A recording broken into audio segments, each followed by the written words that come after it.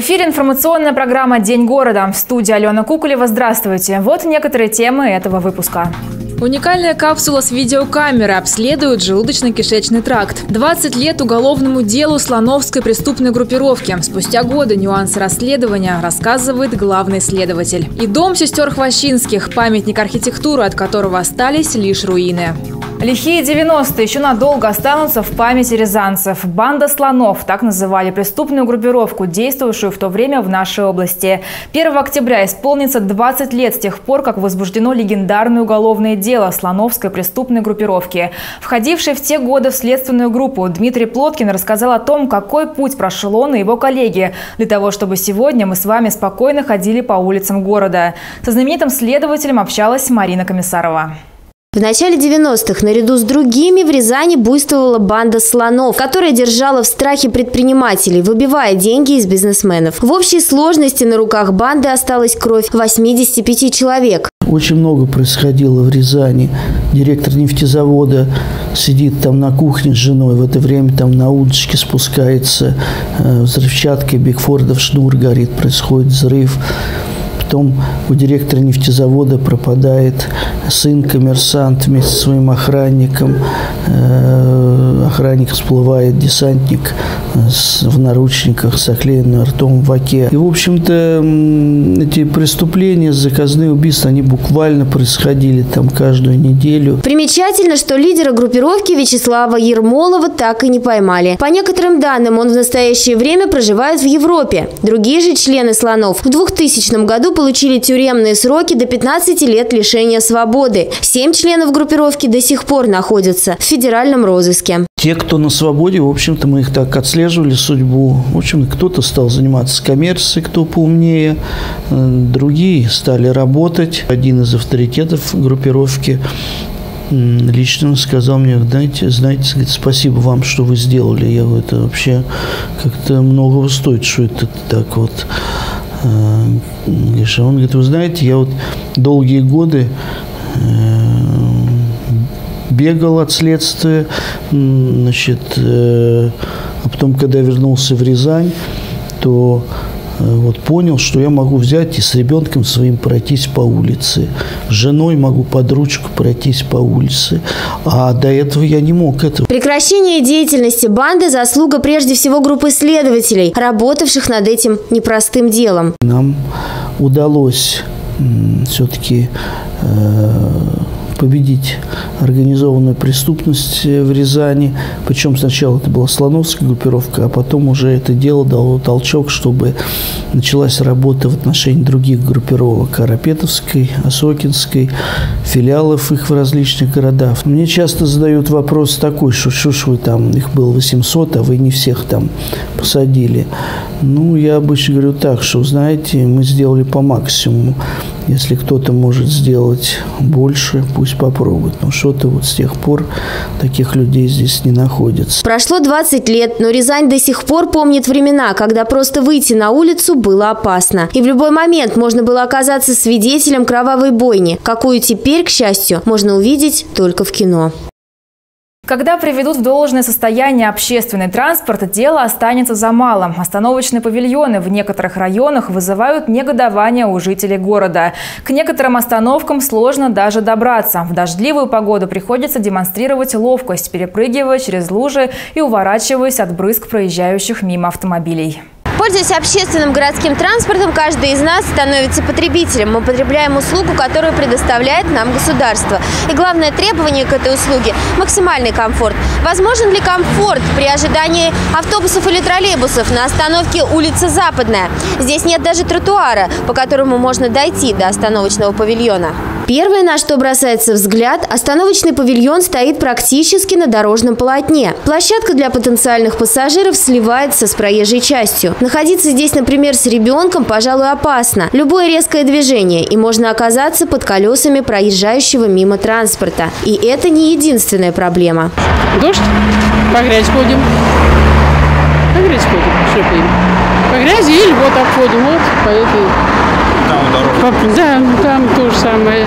Ну а вот а там посмотри, что есть. Нам не делают эту, как ну, это, э, ступеньку вот э, пятерку сделали, они для себя сделали, а для нас они ничего не делают. Уголок такой забытый давно здесь. Как говорится, дороги, они всегда плохие были. Здесь нет перехода. Почему люди ходят здесь? Во-первых, потому что удобно, а во-вторых, вон тот переход полностью залит водой и грязью, когда плохая погода. Поэтому туда даже и идти лишний раз не хочется. Мириться с подобными неудобствами не стоит, тем более, что каждый, кто ожидает транспорт на этой остановке, имеет полное право потребовать возмещения ущерба, как морального, так и материального, в случае порчи одежды или обуви. Период, когда сильные дожди идут, эта жижа растекается по всему остановочному месту, вот этому его иначе не назовешь, потому что там нет возвышений и нет тех необходимых сооружений, которые необходимы для того, чтобы обеспечить безопасность пассажиров. Хочу сказать, что в данной ситуации нарушаются права потребителей на качество качество и безопасность транспортных услуг. Потому что по а, своему понятию, кто такой потребитель? Это человек, который имеет в том числе заказать услугу для личных нужд. Не зная о своих правах, люди все так же через грязь по обочине рядом с потоком автомобилей пробираются к остановке, ожидают маршрутки, стоя практически на дороге. И все это при том, что оплачивая проездной билет, каждый из пассажиров имеет право на комфорт не только в салоне, но и во время ожидания своего автобуса или маршрутного такси. В Рязанской области определили лучшего сотрудника испытательной пожарной лаборатории. Итоги подводили по итогам конкурса судебно-экспертных учреждений МЧС России. За звание лучших боролись профессионалы со всех регионов Центрального федерального округа. Подробнее Наталья Новикова.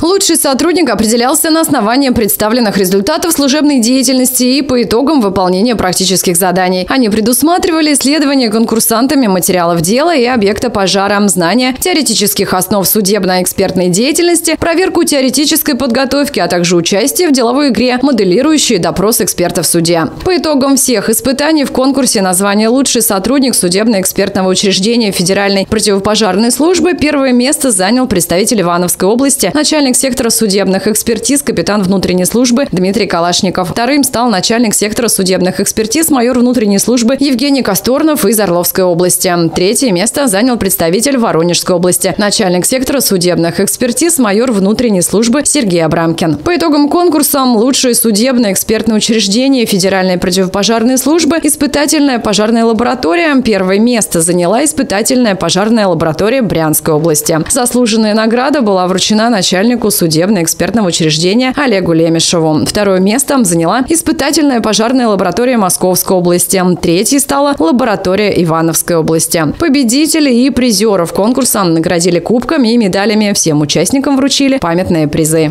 Рязанские историки ратуют за сохранение памятника архитектуры – дома сестер Хвощинских. Сейчас он находится практически в разрушенном состоянии. Еще с прошлого года в СМИ не раз проходила информация о планах его реставрации. В городе проходили благотворительные концерты для сбора средств. В августе рязанцы сами собирали здесь мусор. Тем не менее, состояние дома плачевное. От постройки остались одни руины. Краеведы замечают, что восстановление здесь необходимо. Ведь дом интересен не только своей архитектурой, но и тем, тем, что с ними связаны имена известных всей стране людей. Не каждый рязанец может ответить на вопрос, что уже много лет скрывает под собой баннер, висящий на здании на улице Семинарской. Между тем, за этим полотном расположен дом Хвощинских, который мог бы стать литературным и культурным центром нашего города, но пока находится в плачевном состоянии. Когда-то сестры были известны на всю страну. Романы, повести и стихи Надежды Дмитриевны печатались в самых известных журналах тех лет. У него было две сестры, Софья и Просковья. Это талантливые женщины.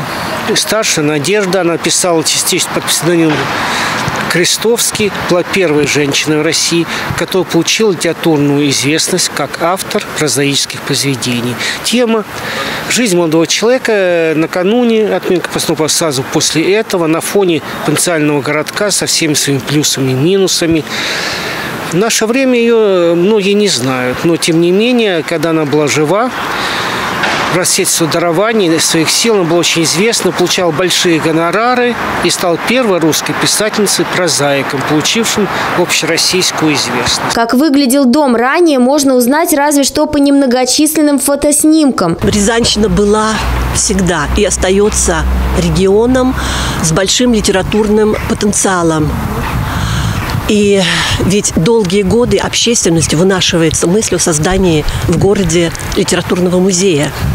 Так вот, по замыслу организаторов после реставрации объекта на этом месте будет литературный музей. Насколько рассчитан, часто спрашивают, как скоро это все произойдет. Но этого, конечно, никто пока сказать не может. Все зависит от общих усилий и общественности, и э, трудовых коллективов, и рядовых рязанцев. Восстановить дом Хвощинских. Такая мысль давно витает среди градозащитников и всех неравнодушных. Лишь недавно Недавно дело сдвинулось. Инициативная группа начала сбор денег на проектную документацию, устраивает благотворительные концерты и субботники. Для прохождения первого этапа необходимо чуть больше двух миллионов рублей. За полгода удалось собрать 400 тысяч. Возможно ли реконструировать такие руины, покажет время. Однако инициативная группа, несмотря на отсутствие необходимой информации о доме, не унывает. И, возможно, через несколько лет баннер снимут, и улицу Семинарскую будет украшать литературный дом-музей сестер сестер Хвощинских.